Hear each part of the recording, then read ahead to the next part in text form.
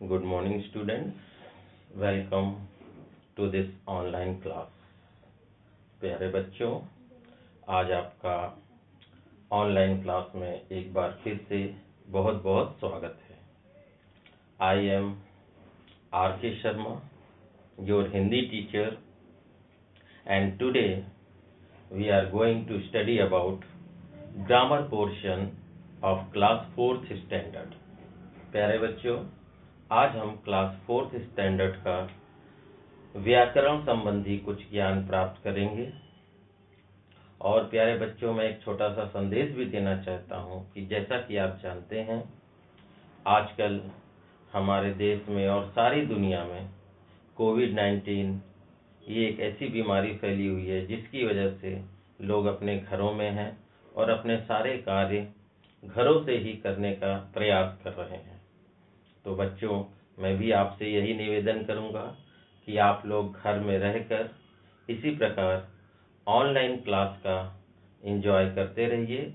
जो कुछ भी यहाँ से पढ़ाया जाता है या बताया जाता है, उसको ध्यानपूर्वक सुनिए और निर्देशों का बहुत ही सख्ती से पालन कीजिए। तो बच्चों, आज हम अपना हिंदी का व्याकरण संबंधी जो टॉपिक है उसको हम लेते हैं और उसके बारे में कुछ जानकारी प्राप्त करते हैं। जैसा कि आप जानते ही हैं बच्चों कि हम लोग अभी पिछले कुछ ऑनलाइन क्लासेस में अपना रिवीजन वर्क कर रहे हैं। इस रिवीजन वर्क की कड़ी में मैंने आपको आपकी हिंदी बुक रिमझिम से जो पार्ट थे पार्ट एक पार्ट दो पार्ट तीन, इस तरह विभिन्न प्रकार के जितने भी पार्ट थे, उनका मैंने रिवीजन कराया। टोटल मिलाकर लगभग चार पार्ट का मैंने आपको रिवीजन कराया है। तो बच्चों, जब हिंदी का ये लेसन वाला पार्ट वाला रिवीजन कंप्लीट हो गया तो अब हम ग्रामर पोर्शन पे जाते हैं। अब हम आपसे कुछ आपको ग्रामर संबंधी पुनरावृत्ति रिवीजन कराएँगे।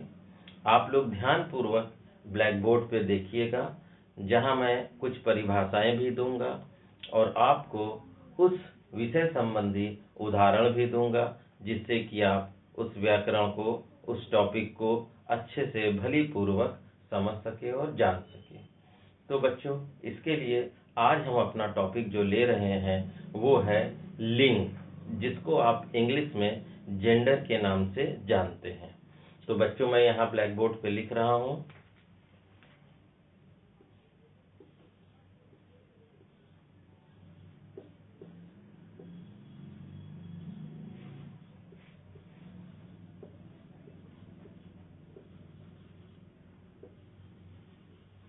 तो बच्चों, आज हमारा है टॉपिक हिंदी व्याकरण में लिंग।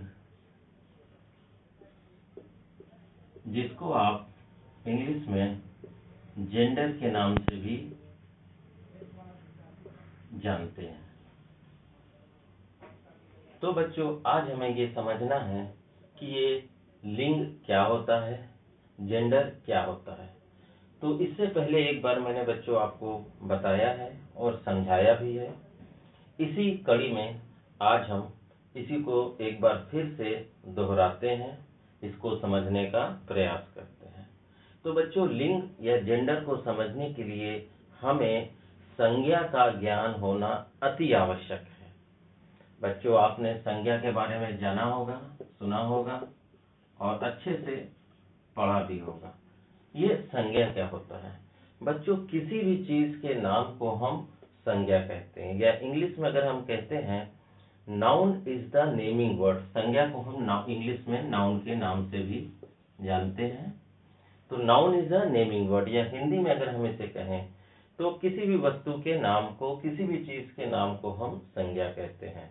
अगर एक परिभाषा में इसे हम गढ़े तो हम ऐसा भी कह सकते हैं कि किसी भी व्यक्ति, वस्तु, स्थान, जानवर आदि भाव मतलब इसमें एक भाव भी शब्द आता है, भाव आदि के नाम को संज्ञा कहते हैं। एक बार फिर से मैं बताता हूँ बच्चों, किसी भी व्यक्ति, प्राणी, स्थान, भाव आदि के नाम को हम संज्ञा कहते हैं। आपको याद आ गया होगा बच्चों, किसी भी प्राणी का नाम, किसी भी वस्तु का नाम, आप क्लासरूम में बैठते हैं तो आपके सामने दिखने वाली ज़्यादातर कोई भी चीज़ सब संज्ञा के अंतर्गत आती है, चाहे वो ब्लैक बोर्ड हो, वो भी एक संज्ञा है। आपका बैग, बॉटल, चेयर, कुर्सी, मेज, पंखा, दरवाज़ा, खिड़की, पेड़, बस्ता, किताब, कॉपी, कलम आदि ये सब संज्ञा के स्थान में आते हैं। जैसे स्कूल हाँ आदि आदि। तो हम संज्ञा का ज्ञान अब प्राप्त कर लिए हैं, हम समझ चुके हैं। अब संज्ञा को जानने के बाद हम आते हैं अपने इस टॉपिक पर लिंग ये जेंडर क्या होता है? तो बच्चों, मैं आपको बताता हूँ लिंग क्या होता है। सबसे पहले मैं इसकी परिभाषा लिखता हूँ कि लिंग क्या होता है। संज्ञा के, अब यहाँ मैं लिख रहा हूँ बच्चों, आप लोग ध्यान दीजिएगा। संज्ञा के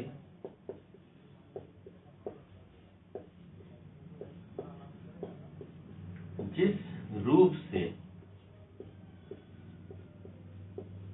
उसके स्त्री या पुरुष जाति के होने का पता चलता है।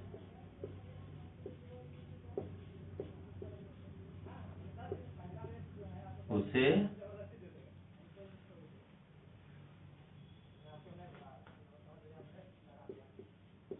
उसे लिंग कहते हैं।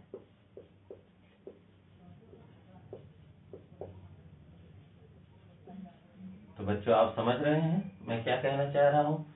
संज्ञा के जिस रूप से, जो संज्ञा होती है, आप जानते हैं ना, किसी का भी नाम तो संज्ञा के जिस रूप से उसके स्त्री या पुरुष जाति के होने का पता चलता है, उसे हम लिंग कहते हैं। तो बच्चों मैं आपको फिर से एक बार समझाता हूँ। आप देख रहे हैं लिंग जेंडर संज्ञा के जिस रूप जिस रूप से, इसमें एक से शब्द जोड़ दीजिए, जिस रूप से उसके स्त्री या पुरुष जाति के होने का पता चलता है, उसे लिंग कहते हैं। जैसे लड़का लड़की, बकरा, बकरी, आदमी, औरत, राजा, रानी, शेर, शेरनी आदि आदि। तो बच्चों, हमने लिंग को समझा यहाँ ये लिंग क्या होता है। इसके पश्चात अब हम इसका दूसरा टॉपिक लेते हैं लिंग के भेद, या हम कह सकते हैं लिंग के प्रकार। ये लिंग कितने प्रकार के होते हैं, या इसके कितने भेद होते हैं? तो बच्चों, यहाँ हम समझेंगे लिंग के भेद।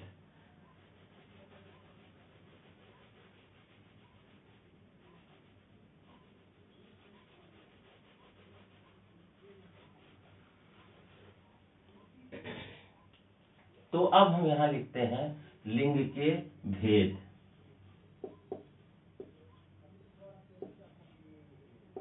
लिंग के भेद। कितने भेद होते हैं?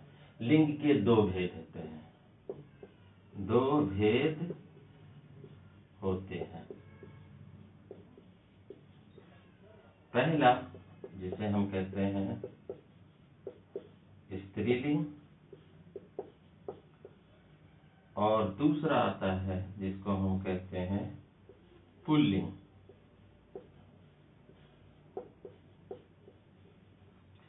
तो बच्चों, आपने देखा, यहाँ लिंग के दो भेद होते हैं, एक स्त्रीलिंग और दूसरा होता है पुल्लिंग। अब हम इन दोनों को भी समझते हैं, ये स्त्रीलिंग क्या होता है, ये पुल्लिंग क्या होता है। तो इसको समझने के लिए हम आपके सामने इसकी परिभाषा भी व्यक्त करते हैं, उससे आप समझ सकते हैं। इसकी परिभाषा कुछ उसी तरह मिलती जुलती है, जैसा हमने अभी इसके बारे में बताया था, लिंग के बारे में। संज्ञा के जिस रूप से, या फिर आप कह सकते हैं जिन संज्ञा शब्दों से उसके स्त्री जाति के होने का बोध होता है। बोध होता है। उसे हम स्त्रीलिंग कहते हैं। समझ रहे हैं बच्चों आप? देखिए। स्त्रीलिंग क्या होता है? जिन संज्ञा शब्दों से उसके स्त्री जाति के होने का बोध होता है मतलब ज्ञान होता है नॉलेज होती है, उसे हम स्त्रीलिंग कहते हैं। इसी प्रकार पुल्लिंग के बारे में भी हम कहेंगे बच्चों। जैसे जिन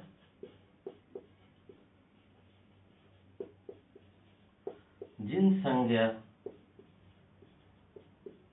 शब्दों से उसके पुरुष जाति। पुरुष जाति के होने का बोध होता है।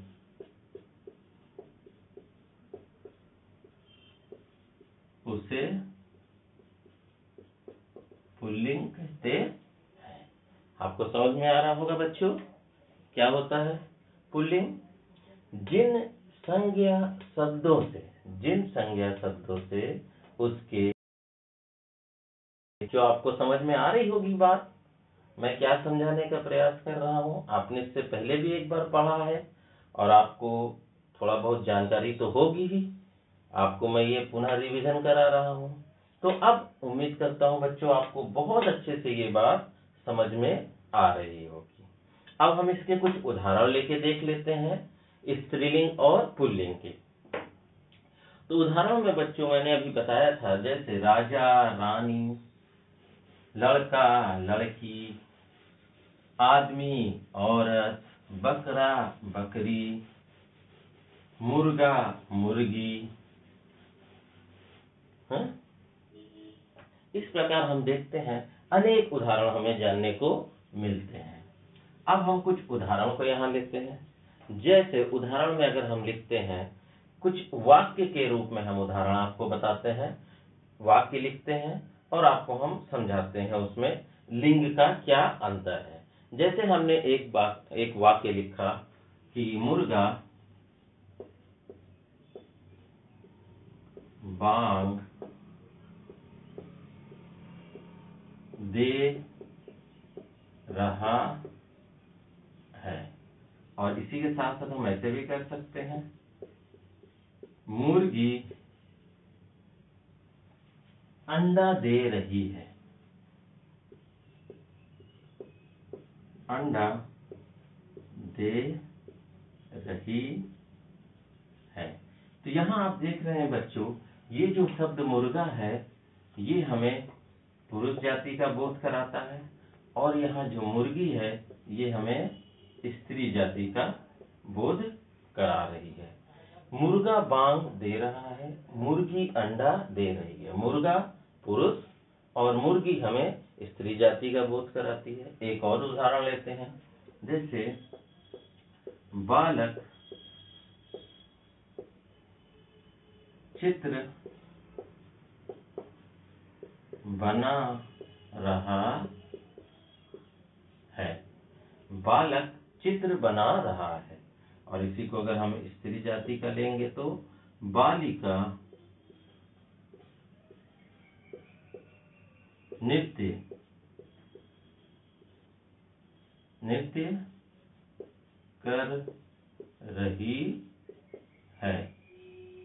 तो आपने देखा बच्चों, यहाँ जो बालक शब्द है ये पुरुष जाति का हमें बोध करा रहा है और यहाँ जो बालिका है, ये हमें यहाँ स्त्री जाति का बोध करा रही है। तो बालक चित्र बना रहा है और बालिका नृत्य कर रही है। इस प्रकार उदाहरणों से आपको समझ में आ रहा होगा बच्चों, ये लिंग क्या होता है, स्त्रीलिंग क्या होता है, पुल्लिंग क्या होता है, आदि। और मैं कुछ उदाहरण देता हूँ बच्चों, जैसे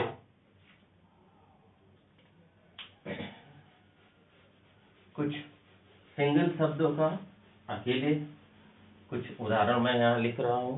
जैसे यहाँ मैंने स्त्री जाति का, स्त्रीलिंग, और ये लिख दिया मैंने यहाँ पुल्लिंग। स्त्रीलिंग में हमने लिखा लिखा बकरी। ये स्त्री हो गया। अब इसका हम पुल्लिंग लिखेंगे बकरा। बकरा हो गया। इसी तरह और भी हम उदाहरण ले लेते हैं। जैसे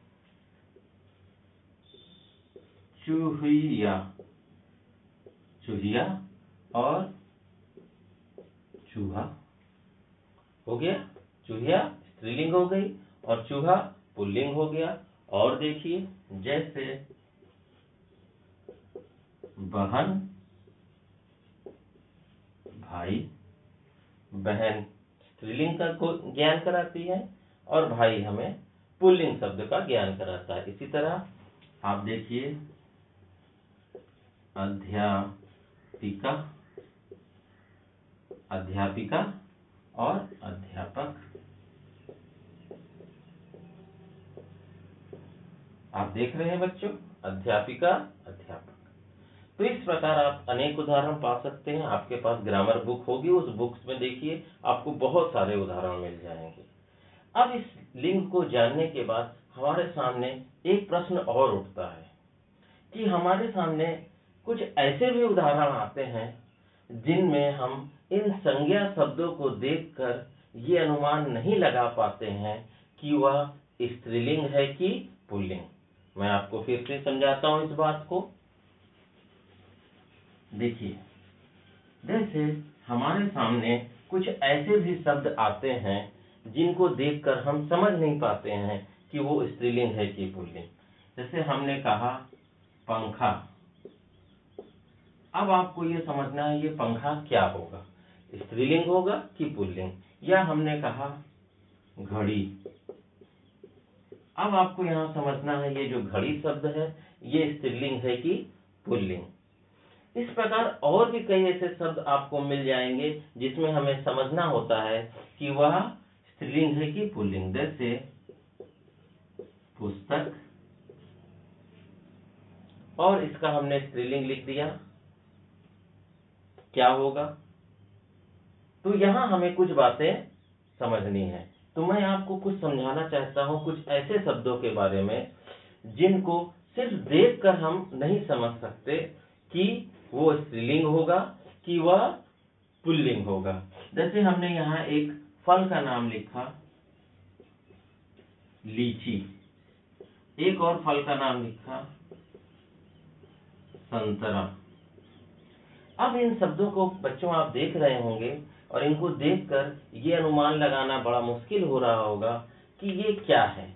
क्या ये स्त्रीलिंग में आते हैं? क्या ये पुल्लिंग में आते हैं? या कौन से शब्द स्त्रीलिंग में आते हैं और कौन से शब्द पुल्लिंग में आते हैं? तो बच्चों, ऐसे शब्दों के लिए हमें इनके आगे प्रयोग किए जाने वाले क्रिया और विशेषण पे ध्यान देना होता है। जब हम इन शब्दों के साथ कोई वाक्य बनाते हैं तो उस वाक्य में प्रयोग किए गया जो क्रिया है या जो प्रयोग किए गए जो विशेषण है, उनको देखकर हम ये जान लेते हैं कि यह स्त्रीलिंग है कि पुल्लिंग। जैसे अगर पंखे पे अगर हम वाक्य बनाते हैं तो हम लिखते हैं, पंखा चलता है। तो यहाँ ये जो चलता शब्द है, ये क्रिया है। इस क्रिया को देखकर हमने अनुमान लगा लिया, पंखा चलता है। तो ये पंखा हो गया हमारा पुल्लिंग। इस क्रिया को देखकर हमने जान लिया। यानी कुछ ऐसे संज्ञा शब्द होते हैं जिनको देख के पता नहीं लगता, लेकिन उनके साथ प्रयोग किए जाने वाले क्रिया या फिर विशेषण को देखकर हम जान लेते हैं। तो पंखा चलता है तो यहाँ चलता शब्द से हमने जान लिया कि यह पुल्लिंग है। इसी तरह घड़ी घड़ी चलती है। तो यहाँ चलती शब्द से हमने समझ लिया कि घड़ी क्या है? स्त्रीलिंग का ज्ञान कराती है। उसी तरह पुस्तक पुस्तक क्या होती है? पुस्तक पढ़ी जाती है। पुस्तक पढ़ी जाती है। तो यहाँ ये जो शब्द है पढ़ना, या यहाँ जो यूज़ किया गया है पढ़ी, इस क्रिया को देखकर हम जान गए कि यह पुस्तक क्या है? स्त्रीलिंग है। पढ़ी जाती है। ये जो शब्द है ना, क्रिया, पढ़ी जाती है। आगे देखिए लीची। लीची क्या है? लीची मीठी है। मीठी है। यहाँ जो शब्द है मीठी जो गुण बता रही है, हा? तो लीची मीठी है। इस मीठी शब्द को देखकर जो कि एक क्रिया है विशेषण है मीठी क्या है? विशेषण है। इस विशेषण को देखकर हम जान गए कि लीची स्त्रीलिंग का बोध कराती है। और इसी तरह हम संतरा को ले सकते हैं। संतरा खट्टा है। खट्टा है। यहाँ जो विशेषण है, खट्टा खट्टा एक विशेषण शब्द है, बच्चों, आप जानते होंगे, हमने पढ़ाया भी था। तो ये जो खट्टा है इस शब्द को देखकर हम समझ गए कि संतरा पुरुष जाति का बोध करा रहा है। तो हमने यहाँ देखा बच्चों कैसे कुछ ऐसे भी शब्द होते हैं, संज्ञा शब्द, जिनको डायरेक्ट देखकर हम नहीं समझ सकते कि वो स्त्रीलिंग है कि पुल्लिंग। लेकिन जब उनके साथ वाक्य बनाते हैं, और वाक्य बनाने के दौरान जो उसमें क्रिया और विशेषण का प्रयोग होता है, इनसे हम समझ लेते हैं कि वह स्त्रीलिंग है कि पुल्लिंग। जैसे पंखा पंखा चलता है। इस चलता क्रिया को देखकर हम समझ गए कि यह पुल्लिंग है। घड़ी चलती है। इस चलती क्रिया को देखकर हम समझ गए कि यह स्त्रीलिंग है। इसी तरह पुस्तक का जब हम वाक्य में पुस्तक पढ़ी जाती है तो जो पढ़ना वाला शब्द है, पढ़ी, इसको देखकर हम समझ गए कि यह स्त्री जाति का है। लीची लीची मीठी है। ये जो मीठी शब्द क्या है? विशेषण है। इसको देखकर हम जान गए कि यह स्त्री जाति का बोध करा रही है लीची। और संतरा संतरा खट्टा है, ये भी एक विशेषण है, और इसको देखकर हम समझ गए कि यह पुरुष जाति का बोध करा रहा है। तो बच्चों, आज आपको लिंग के बारे में काफ़ी अच्छे से समझ में आ गई होगी बातें, जो मैंने आज आपको बताने का प्रयास किया है कि ये लिंग क्या होता है, उसके कितने प्रकार होते हैं। अब बच्चों, आप जानते हैं कि हर बार रिवीजन क्लास में मैं आपको पाँच प्रश्न देता हूँ, जिनका आपको कॉपी में उत्तर लिखना होता है। तो आप तुरंत अपनी कॉपी खोलिए और उसमें प्रश्नों का उत्तर लिखना आरंभ करिए। मैं यहाँ प्रश्न लिखता जाऊँगा और आप लोग उन प्रश्नों का उत्तर अपनी कॉपी में डायरेक्ट तुरंत लिखते जाइएगा। कुछ क्षणों के बाद मैं उन प्रश्नों का उत्तर भी आपको बताऊँगा। ठीक है? तो आज हम इसका रिवीजन स्टार्ट करते हैं। रिवीजन प्रश्न आपको हम देते हैं। तो आज की इस टॉपिक का जो कुछ रिवीजन प्रश्न है वो मैं यहाँ लिखूँगा, पाँच प्रश्न लिखूँगा। इन पाँचों प्रश्नों का उत्तर आप सीधे अपनी कॉपी में लिखते जाइएगा। कुछ क्षणों के पश्चात मैं आपको उनके उत्तर भी बताऊँगा। तो यहाँ मैं प्रश्न लिख रहा हूँ। एक एक करके आप उसके उत्तर लिखते जाइए। हमारा पहला प्रश्न है कि लिंग किसे कहते हैं?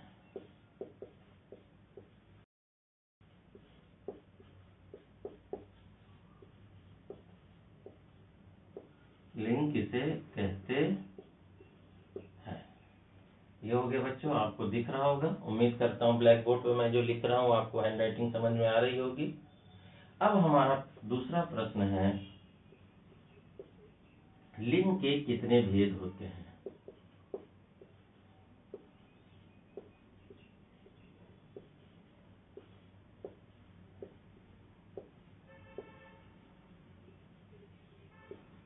कितने भेद होते हैं, लिंग के कितने भेद होते हैं? ठीक बच्चों, आप आराम से लिखिए, इनके उत्तर लिखते जाइए सोच समझ के। अब हमारा तीसरा प्रश्न है,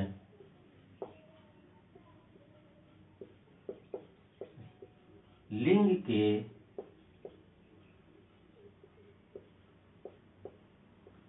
भेदों के नाम लिखिए।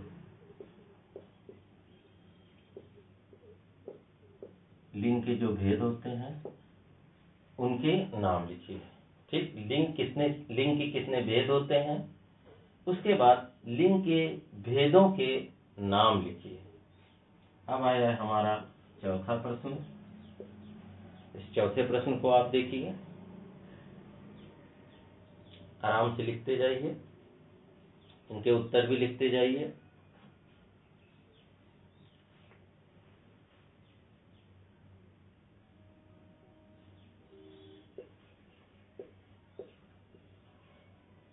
बकरा, कुछ यहाँ मैं शब्द दे रहा हूँ। इनके आपको स्त्रीलिंग लिखना है। निम्न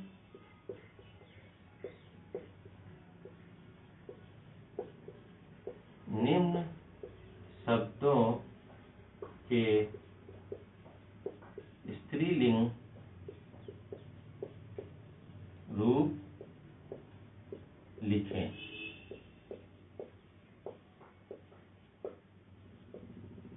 निम्न शब्दों के स्त्रीलिंग रूप लिखें, जैसे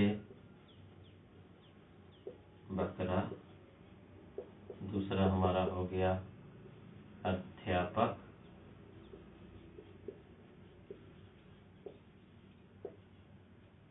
और हम लिख सकते हैं राजा, और हम लिख सकते हैं चौथे में शेर, और इसके साथ हम लिख सकते हैं एक और पांचवा शब्द। आप लिख सकते हैं चूहा। ठीक। अब आया पांचवा प्रश्न। पाँचवें प्रश्न में आपको मैं लिख रहा हूँ। अब जो लास्ट पोर्शन मैंने आपको समझाया था, ये पांचवा प्रश्न उसी से रिलेटेड है। पांचवा प्रश्न है कि किन शब्दों के आधार पर हम ऐसे शब्दों का पता लगाते हैं कि वह स्त्रीलिंग है कि पुल्लिंग? समझ रहे हैं बच्चों? छोड़िए, ये थोड़ा कठिन पड़ेगा आपको। थोड़ा सा और मैं उसको सरल शब्दों में बताता हूँ। आप जब तक इसको लिखिए, मैं पांचवा प्रश्न भी आपको बता रहा हूँ। इसको आप लिखते जाइए इसके उत्तर।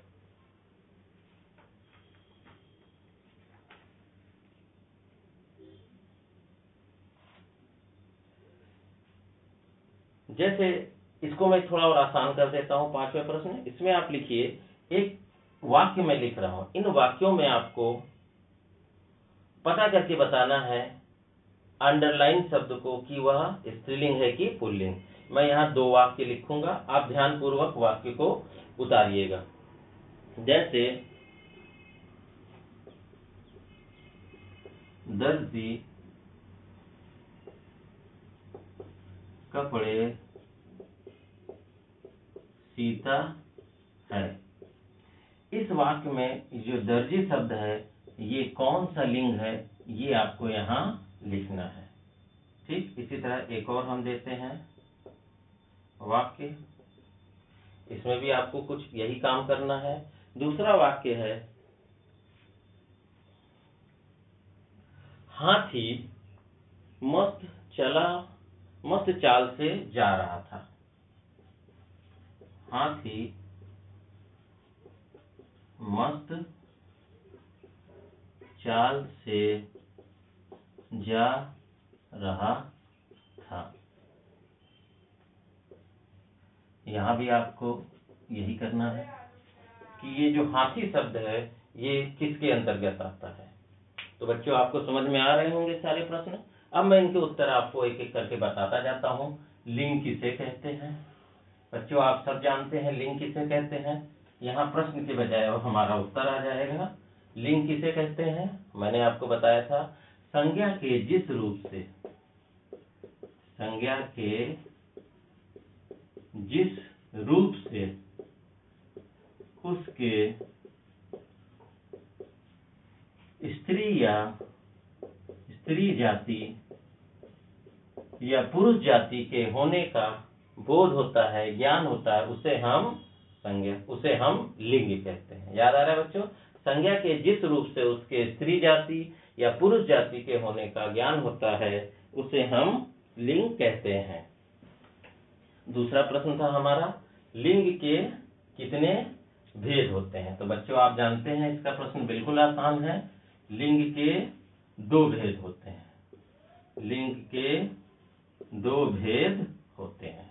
अब हमारा तीसरा प्रश्न, लिंग के भेदों के नाम लिखिए। तो यहाँ हम आपको लिंग के भेदों के नाम भी लिख के बता दे रहे हैं। स्त्रीलिंग और पुल्लिंग। ये हो गए इनके दोनों भेदों के नाम। उसके बाद निम्न शब्दों में स्त्रीलिंग रूप लिखिए।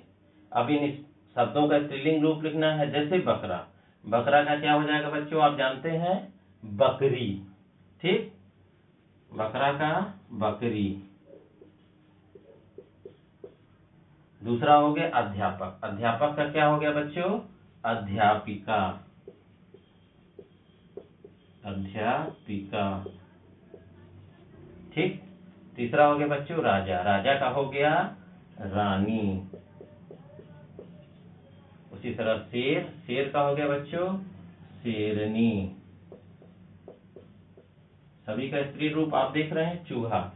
चूहा का क्या हो गया बच्चों? चूहिया। चूहिया। चूहिया। अब हमारा पांचवा प्रश्न का उत्तर, दर्जी कपड़े सीता है। यहाँ दर्जी का, दर्जी क्या है? स्त्रीलिंग है कि पुल्लिंग? ये हमें लिखना है। तो दर्जी यहाँ पुल्लिंग है। हाथी मस्त चाल से जा रहा है। तो यहाँ हाथी क्या हो गया? आपको यही लिखना है। जा रहा है, चाल से जा रहा है तो यहाँ पुल्लिंग हो गया हाथी। तो समझ में आ गई बच्चों आपको बात आज? दर्जी क्या हो गया? पुल्लिंग दर्जी कपड़े सीता है, इनको देखकर हम समझ गए। और दर्जी शब्द तो वैसे भी डायरेक्ट हमें बताता है कि वह स्त्रीलिंग है कि पुल्लिंग इसको देख के ही हम समझ जाते हैं। अब हाथी हाथी मत चाल से जा रहा है। तो हाथी देखकर जा रहा है, चाल से जा रहा है। इसको देखकर भी अनुमान लगा ले रहे हैं और इस शब्द से भी कि यह पुल्लिंग का बोध कराता है। तो बच्चों, आज की ये जो क्लास है हम यहीं समाप्त करते हैं। उम्मीद करता है आपको ये सारी बातें समझ में आई होंगी, आपने इसे एंजॉय किया होगा और आपने इन सारे प्रश्नों को सॉल्व भी कर लिया होगा। तो नेक्स्ट क्लास में हम एक बार फिर से मिलेंगे और आपको नया ज्ञान देंगे। इसी रिवीजन की कड़ी में और भी बातें बताएँगे। तब तक के लिए मैं बच्चों, आप सबका धन्यवाद देता हूँ। आप सबको थैंक यू कहता हूँ। आपने ज्वाइन किया इस ऑनलाइन क्लास के। ठीक है बच्चों? थैंक यू धन्यवाद। Bye bye